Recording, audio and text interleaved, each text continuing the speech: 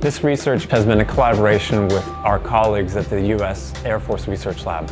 We've created a material made out of rubber polymers that can compute uh, any binary string of information to a new output string of digital information.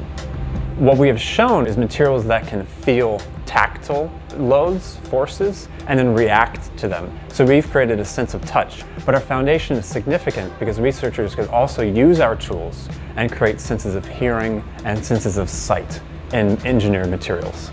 What we have shown here is we've shown a mechanical platform for computing.